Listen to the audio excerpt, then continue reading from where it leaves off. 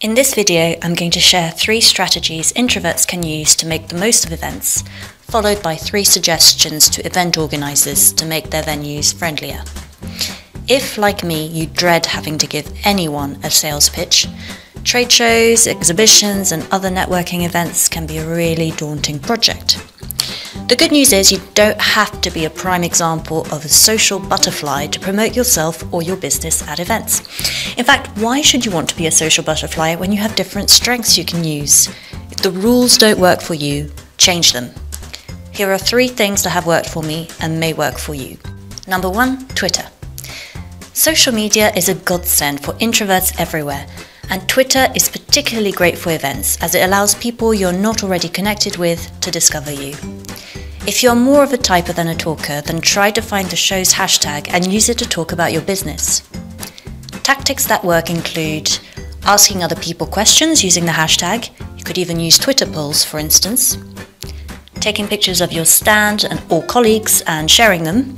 The more light-hearted, the better. Letting people know about any promotions you're running on the day so they know to check out your stand.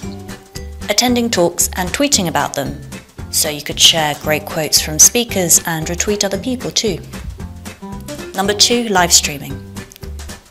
Sometimes being behind the camera can be a helpful way to approach people. Most social networks, including Twitter and Facebook, now have live streaming options. You can use it so that people who can't attend the event have access to what you're experiencing. So here are two ideas. Live stream a talk you attend, extra bonus if it's one of your colleagues, or interview people attending the conference, a bit like a live version of Twitter polls. Maybe do this accompanied by someone outgoing if you're, if you're feeling too shy to do so. Number three, live blogging. I use Passle to live blog because it's just really easy, but then of course I would say that because I work for Passle.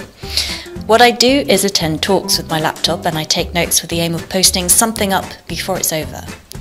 As there are time constraints, I find that either summarizing the main points, as I did here, or focusing on one particular point, as I did here, are the most effective tactics. When I'm happy with a post, I search for the conference hashtag in Passle's Twitter picker and I add the tweets of people attending the same talk as me. Then, once it's live, I thank those people for those tweets. So, in one short post, I've connected meaningfully with several people attending the same talk. That's a bit of a win. Next, what can organisers do to be more introvert friendly? Number one, create downtime spaces. Being switched on around people is very draining on introverts, so having a space where they can recharge their mental batteries is really useful. If your venue doesn't have spare rooms, then having a, a plug-in zone is a great alternative, giving people the excuse to recharge their technological batteries as well as their mental ones. Number two, structure is really useful. Having set discussions where you know what it is you are meant to be talking about is helpful for introverts and extroverts, frankly. Small talk of any kind is the introvert's worst enemy, so tackling a specific problem or discussing a set topic is much better. Number three, give people the option to opt out of activities, whether that's meals that are basically an informal or formal extension of networking, or things like compulsory presentations that they haven't had time to prepare for. So those are my tips. Do you have any other ideas or tips? Feel free to share them in the comments below.